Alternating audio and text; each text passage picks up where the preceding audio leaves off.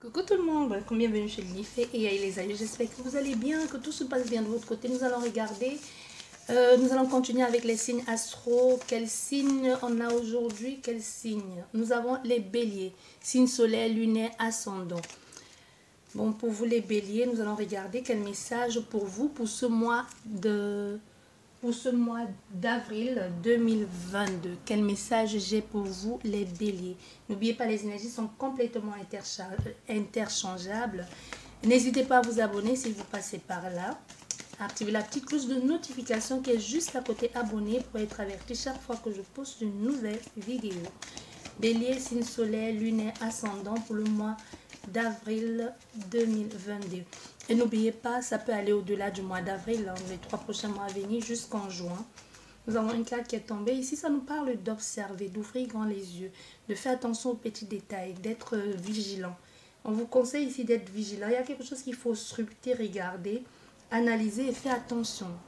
Faites attention, ne loupez rien. On vous conseille vivement de ne pas louper quelque chose. Comme si c'est à votre portée, mais il faudrait que vous soyez très attentif très attentif. Ça peut juste être un petit détail qui vous met sur la piste ou qui vous disent que c'est ça, c'est la personne ou c'est la chose à faire. Donc faites attention aux détails. Regardez bien, surtout ne loupez rien du tout. Les béliers, signe soleil, lunaire, ascendant. Nous avons, waouh Et en plus, vous êtes guidé. Et en plus, tout ce que vous allez...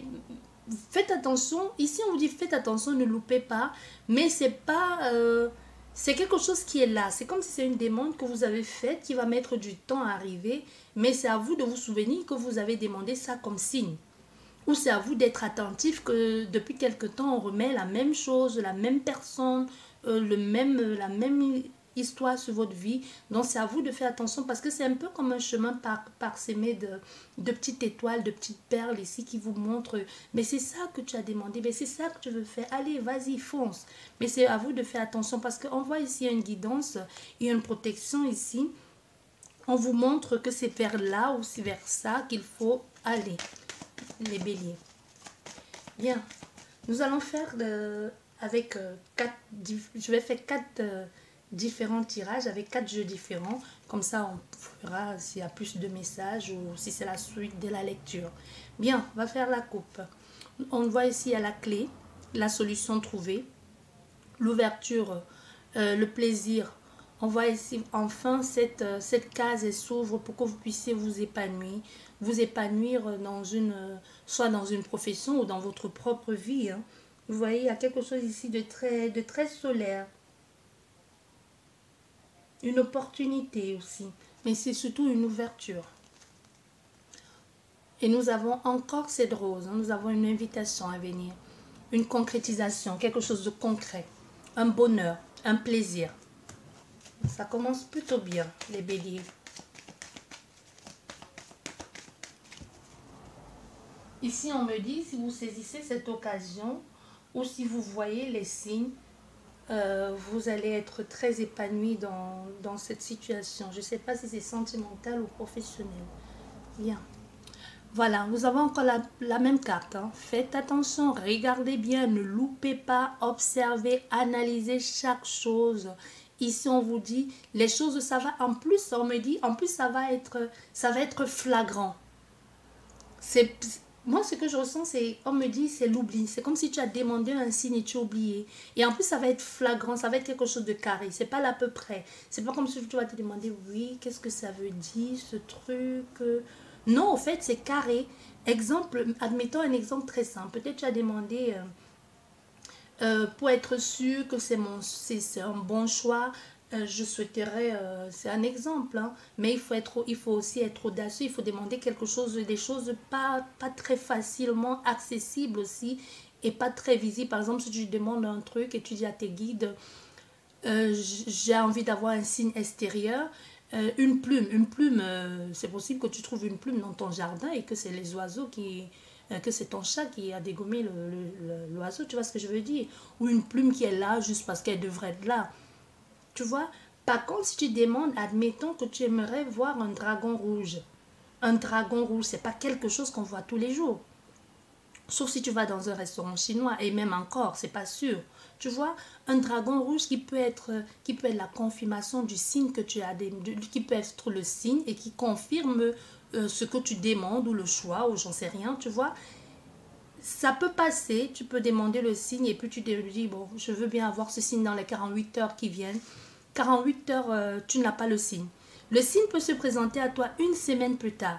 Si il ne s'est pas présenté 48 heures plus tôt, ça veut dire que les 48 heures plus tôt, moi ça c'est mon expérience personnelle, ce n'était pas valable en ce moment-là. Tu ne pouvais pas le faire là. Mais si ça se présente à toi une semaine plus tôt, une semaine plus tard et de façon répétitive et récurrente, ça veut dire que c'est le moment de faire ça. Tu comprends ce que je veux dire? Mais ça peut être dans ta tête, tu te dis, bah oui, j'ai oublié, mais ce dragon rouge, il me dit quelque chose. Pourquoi? Qu'est-ce que j'avais demandé déjà euh, comme réponse pour euh, le dragon rouge, tu vois? Donc, ici, ici c'est nécessaire de d'écrire pour ne pas oublier. C'est ce qu'on te dit. Donc, tu vois, fais attention, regarde, observe, note pour ne pas oublier. Bref. Voilà. On a encore ici, nous avons les hiboux ici qui encore regarde, encore observe bien, observe. Ça nous parle encore de la même chose. faut pas passer à côté de cette occasion. Regarde encore. On est encore dans quelque chose ici de de ne pas louper, dans quelque chose de, de, la sagesse qu'on te conseille ici, les signes aussi, hein, les signes avant-coureurs. Il y a quelque chose, il faut, il faut que tu sois à l'écoute. Il faut que tu sois à l'écoute, il faut que tu aies les yeux bien ouverts. Voilà. Par rapport à ce plaisir, à ce bonheur ici qui t'attend, il y a un bonheur qui t'attend, mais pour ça, c'est à toi de le saisir. C'est à toi de le saisir, d'accepter ce que te propose cette personne on voit, nous voyons, tu voyais bien, il y a encore, il y a une ouverture, il y en a deux anges de, de chaque côté là, qui te dit oui, c'est par là qu'il faut passer, c'est ça le signe qu'on te montre depuis. Nous sommes à tes côtés, on t'accompagne. Il y a aussi décidément un choix à faire, mais le choix qui, tu peux faire les deux choix. Moi je ressens, il y a un choix à faire, mais tu peux choisir d'avoir les deux. C'est toi de voir comment tu peux faire. Comme il y a les poussettes deux en un. Je ne sais pas pourquoi l'exemple la poussette, euh, voilà, il y a une stabilité ici, une élévation, quelque chose de structuré, de carré, de, clair, euh, une élévation. Et on voit, c'est, quelque chose qui va te permettre d'avoir quelque chose de très comme une colonne. Pourquoi je prends le une colonne? Pas une colombe hein, une colonne quelque chose de très droit de de, de droit de structuré de solide d'élevé aussi un engagement. Donc, un engagement ici par rapport à tout ça. Mais c'est à toi de savoir comment faire les choses. On voit, il pourrait y avoir un obstacle. Hein. Un obstacle, d'où cette nécessité, pourquoi, de faire le choix des deux. Parce que si tu fais un choix, moi je te dis ce que je, ce que j'entends, si tu fais un choix, c'est le choix de un qui peut te bloquer ou vice-versa. Peut-être tu peux être gourmand, vouloir les deux. C'est ça qui peut te bloquer. Ou tout simplement, si tu vois qu'en voulant les deux, en voulant les deux, ça ne marche pas, il faudra faire un choix. Et si tu prends un et ça bloque, vaudrait mieux prendre les deux. Parce que tu peux faire deux en un. Voilà ce que j'entends. Mais ça peut être le choix entre deux personnes. Tu peux pas avoir deux personnes, ça non. Mais tu peux te dire, bon, ok, je laisse le temps, je me laisse autant de temps pour essayer de, connaître l'un et l'autre. Mais tu peux pas avoir les deux, ça non. Tu vois, parce qu'il y a quelque chose ici, on voit les deux extrémités. Il faudra faire très attention aussi à ce qui peut être un obstacle, à ce qui peut bloquer. Donc ne va pas au-delà de ce que tu es capable d'assumer. Si tu vois que ça bloque de ce côté, tu peux le contourner ou tu peux faire, tu peux faire un pas en arrière tu vois, tu peux faire un pas en arrière parce que l'ascension va être longue et ça va être périlleux et même finalement, même peut-être pourquoi tu n'y arrives jamais. Donc si tu vois que c'est compliqué, c'est un obstacle, tu peux demander. On voit ici, tu peux être à l'écoute, tu peux partager ce que tu ressens ou tu peux demander aussi de l'aide ou tu peux demander une association, un accord ici pour que demander quelque chose à tes guides.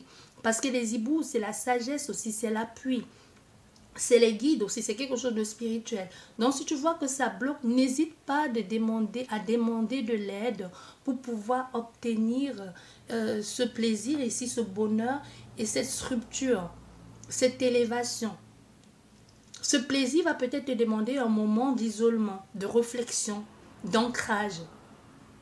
Et on voit au centre de ton jeu, tu as quoi? Tu as une ouverture. Tu accèdes enfin à quelque chose de libre, de joyeux, quelque chose de chaleureux. C'est une, abondance ici, une abondance euh, de, de, mieux-être, de bien-être, on me dit. Comme une sorte de, de guérison. Comme, comme si tu, allais te, ce, ce qui va t'arriver, tu allais te sentir comme guéri grâce à ça. Comme si ça allait t'apporter une sorte de, de, liberté, de guérison euh, totale. Derrière, nous avons le travail. Donc, n'hésite pas à creuser, à faire, euh, à être prudent aussi, parce que ça, ça, ça aussi, ça te demande d'être prudent et surtout à chercher, à creuser aussi, à travailler, à jouer de ton charme s'il le faut, mais pas au détriment des autres, bien évidemment. Bien, nous allons continuer avec vous les béliers, signe soleil, lunaire, ascendant pour le mois de d'avril. Et ça peut aller jusqu'au mois de juin. Bélier, signe soleil, lunaire, ascendant. Allez. On nous parle d'un nouveau départ ici. Voilà, vous, voyez tout à l'heure, je vous parlais des guérisons de soins. On vous parle d'un nouveau départ ici, euh, de quelque chose de nouveau au niveau de votre mieux-être, d'un bien-être, de quelque chose qui va vous apporter du bien. Ça peut être aussi une guérison, ça peut être un soin que l'on vous apporte à votre enfant, mais tout simplement ici un nouveau départ, une transformation euh, vers quelque chose qui, qui faudrait être encore une fois de plus à l'écoute. Hein. Il faudrait faire très attention, il faudrait faire observer chaque... Euh, comme chaque, chaque battement pourrait être un signe. Comme écoute ton cœur aussi. Moi, je ne sais pas pourquoi on dit ça. Écoute ton cœur. Chaque battement euh, pourrait être un signe. Ce que tu vas ressentir sur le coup, comme ce sentiment d'être amoureux, euh, prête-y attention. C'est ce qu'on me dit ici. Comme si la première impression sera un sentiment de tomber amoureux ou d'avoir un sentiment que tu as déjà connu la première fois que tu as vu quelqu'un ou que tu as vu une personne pour, euh, pour qui tu avais des sentiments très forts, même si tu ne l'avais pas verbalisé. La première carte nous parle de perte ici, d'embrouille. Euh, perte en bruit, mais surtout aussi quelque chose euh, qui, qui peut être fait en sorte que ça ne marche pas. Hein. tu vois une, une, énergie négative derrière qui tourne là comme un vampire pour, tout mettre pour tout mettre à mal. On parle aussi des sentiments ici comme s'il y aurait une, séparation ou quelqu'un, une tierce énergie qui pourra venir séparer. Ou alors tout simplement, ça peut être quelqu'un dans les environs. Tu t'accroches à cette personne, cette personne s'accroche à toi, mais c'est pas positif du tout. Voilà. Mais on voit les choses ont changé comme aurait une mise en lumière sur cette situation obscure. Cette personne qui te, qui te bouffe ici, qui te t'emprisonne en quelque sorte, comme si tu allais comprendre ce qui ne va pas. Et ça va te permettre de prendre des décisions. Tu vois, ça te permet de comprendre ce qui ne va pas ou, ou alors que c'est cette personne qui t'empêche d'évoluer. Et là, c'est à toi de décider. Parce que oui, tu aimes bien cette personne ou alors tu tiens à elle, mais c'est te tire vers le fond. C'est t'empêche d'évoluer. Si c'est elle, le, vampire, qui te bouffe toute ton énergie, si vous n'êtes pas sur la même longueur, donc tu as beau l'aimer, mais tu vas pas plonger avec elle. Hein. C'est ce qu'on te dit. Il faudrait d'abord que tu penses à toi. Ça va être fait de façon égoïste, mais c'est d'abord toi qui compte. Ton épanouissement, ton équilibre, ton bien-être. Même si ça doit passer par la séparation, par les querelles, surtout la séparation, ça va rendre, il y a un désarroi ici, hein. quelqu'un qui va être complètement euh, mal, euh, désespéré. Ça va être compliqué, mais c'est d'abord, il en va d'abord de ton équilibre, de ton plaisir. Parce qu'aujourd'hui, on voit déjà, tu es dans un, dans un, dans un état où euh, ton, ton, plaisir déjà, euh, ça ne va pas. Tu ne prends pas du plaisir à ce que tu fais, tu es dans l'attente ou alors tout simplement tu te refuses à faire certaines choses parce que tu ne veux pas brusquer l'autre personne ou parce que l'autre personne ne veut pas faire comme toi. Du coup, tu te mets en retrait. Tu, tu, ne veux, tu ne fais pas certaines choses, tu n'investis pas dans certains mouvements parce que ça, cette personne, ça ne la convient pas. Admettons que tu sois, tu sois à fond dans l'écologie ou que tu sois à fond dans un, dans une façon de penser, d'être, et que c'est ça ta personnalité, que c'est ça qui te fasse vibrer, et tu tombes sur quelqu'un qui n'a pas du tout le même, les mêmes points de vue, les mêmes objectifs. Tu as beau dire, euh, oui, que chacun a son jardin secret, mais si cette personne empiète sur ton jardin secret à toi, ou alors sur ce qui t'apporte de l'équilibre, la joie de vivre, euh, parce que elle ne veut pas que tu fasses ça et elle ne veut pas, non seulement elle veut pas le faire avec toi, elle veut pas partager ce qui te met dans cet état de, de plaisir, de plénitude, elle ne veut pas le partager avec toi et en plus, elle ne veut pas que tu le fasses. Tu vois, ça, ça ne va pas.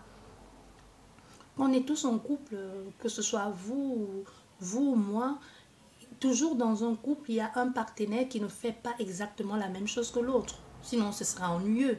Tu vois, chacun a son, son activité, ses passions. De temps en temps, tu peux accompagner l'autre ou pas du tout. Mais tu ne dis pas à l'autre personne, je veux pas que tu ailles faire de la boxe parce que je trouve que c'est violent. Moi, j'aime pas ça. Mais toi, tu veux pas faire avec elle, mais tu veux pas non plus qu'elle aille le faire. Tu vois, c'est juste un exemple. On est dans une situation comme ça. Donc, on voit ici, il pourrait y avoir aussi comme une, énergie malsaine autour qui t'a rendu malade aussi hein, par rapport à tout ça. Toi-même, tu vas comprendre que c'est cette, cette relation qui te bousille comme ça et tu vas choisir de partir. Préférer d'abord ton équilibre, ton mieux-être parce que tu fais le choix, tu te choisis toi d'abord, avant tout. Voilà pour vous les béliers, signe soleil, lunaire, ascendant, pour ta propre stabilité et ton équilibre. Bien, nous allons continuer. Bélier, signe soleil, lunaire, ascendant, nous avons ici le partage, le plaisir. Il y a quelque chose que vous allez recevoir comme un cadeau, un présent, une proposition, une proposition qui pourrait pas plaire euh, vraiment, ou une proposition, oui, proposition peut-être euh, au niveau de la justice aussi. Hein. Au niveau de l'administration. Je fais la coupe. Nous avons l'amour, voilà, vous voyez, ça ressort. Hein. Cet amour vous rend malade. Cet amour vous, vous met mal à l'aise. Nous avons la maladie et nous avons l'amour. Ça ressort encore. Comme si ce n'était pas... Arrêtez de vous mentir à vous-même. Ça, vous empêche d'être vous-même, ça vous empêche d'évoluer. Ça vous empêche de guérir, ça vous empêche de, de vous épanouir. Nous avons ici l'appui. L'appui, c'est quelqu'un qui vous soutient, ça peut être un guide, ça peut être un, guide, un ange, comme vous voulez l'appeler, un Dieu. Mais on voit cette, euh, cette personne qui vous soutient ici, ou cet appui que vous avez va vous permettre en quelque sorte de, tout mettre en mal. Il y a quelque chose ici, il y a un guide ici qui va, un guide peut-être vous ne voulez pas comprendre et qui va tout envoyer balader. Hein, parce que l'accident, c'est quelque chose qui va arriver subitement. Ça va arriver subitement. C'est bizarre parce que ça arrive subitement. Soit vous demandez de l'aide parce que vous n'en pouvez plus. Ça arrive subitement, mais ça vous plaît. Ça vous plaît parce que vous savez qu'il fallait que ça arrive comme ça. Parce soit parce que vous ne vouliez pas être coupable de quoi que ce soit, vous voulez que c'est elle-même cette personne qui décide de vous quitter ou c'est elle-même qui dit stop. Et ça va vous plaire parce que vous allez dire ouf, enfin, libérée quoi. Comme euh, c'est même quelque, ça peut être aussi un moment convivial. Hein qui vous, sur un coup de tête comme ça, vous disent, tu sais, euh, après, après réflexion, euh, je choisis que nous deux, ça va pas. Tu vois Donc c'est elle, au fait, qui décide, qui vous dit ça. Ou vice-versa. Et là, ça vous plaît parce que vous savez que enfin, je ne sais pas, moi, on va pas me reprocher de quoi que ce soit. Enfin, tu souffles, il y a enfin un nouveau départ ici. Oui, il y a enfin un nouveau départ et ça se fait dans la paix. Hein, ça se fait pas dans l'agressivité parce qu'on entend la hache de guerre ici, c'est quoi? On s'entend bien. On le fait avec euh, de façon civilisée, pas d'agressivité, on n'en veut à personne, on reste bon amis, on reste en bon terme.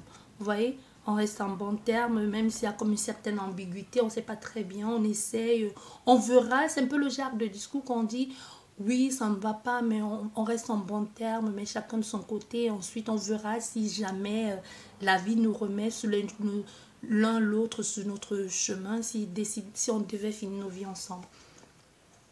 Voilà. Et on nous en sommes là. Il y a quelqu'un qui pourrait, et entre-temps, ici on voit, il il y a quelqu'un qui va être insistant au niveau des messages. Qui va être insistant au niveau des messages. Pour certaines personnes, justement, ça, ça peut être ces messages insistants qui pourraient vous... Euh, qui pourrait, qui pourrait gâter, qui pourrait détruire la relation. Comme si quelqu'un va surprendre un message par accident ou en une conversation. Tu vois?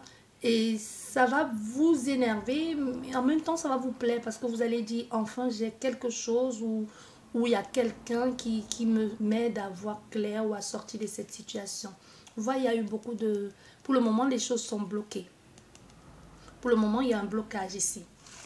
Mais tant que vous-même, vous ne voulez pas sortir de là, ça ne va pas le faire. Et nous allons terminer avec ce jeu pour vous les béliers, signe soleil, lunaire, ascendant. Bélier, signe soleil, lunaire, ascendant. La coupe, il y a des décisions à prendre. Il y a des décisions à prendre, mais on voit les décisions, vous avez du mal à prendre des décisions. Comme si vous faites toujours des... Vous, vous ne bougez pas au fait. Vous êtes dans une situation où vous êtes toujours là, j'attends, qu'est-ce que je fais? Vous avez du mal à bouger. Vous avez du mal à, choisir, à, partir en quelque sorte. Vous ne faites pas vraiment grand-chose. Hein. Vous, faites du surplace. Bélier, soleil, lunaire, ascendant. Pour le mois d'avril, ça peut aller sur les trois mois, jusqu'à juin. Vous voyez, il va falloir trouver, il y a, des, il y a un arrangement ici un compromis où vous allez trouver un moyen d'entente. Envoyer une communication, vous allez en parler. Il y a une discussion ici, mais c'est pas vraiment un face-à-face. Hein. C'est comme si vous allez choisir ici de dire à quelqu'un ou de trouver un terrain d'entente avec quelqu'un via par écrit. Par rapport à, ça peut être par rapport à un logement ou alors vous pouvez enfin signer les documents qui concerne un logement. Mais on voit ici, quoi qu'il en soit, il y a une ouverture, il y a un éclaircissement ici. Et ça vous met, euh, ça vous met dans un état de confiance. vous êtes confiant dans cette situation, comme si c'est vraiment en quelque sorte ce que vous espériez. On voit au niveau de l'argent, il n'y a pas de souci de ce côté-là, bien au contraire. Bien au contraire, il y a tout ce qu'il faut pour que, cette, pour que ce projet puisse se mettre en place. Et on voit ça arrive même plutôt rapidement.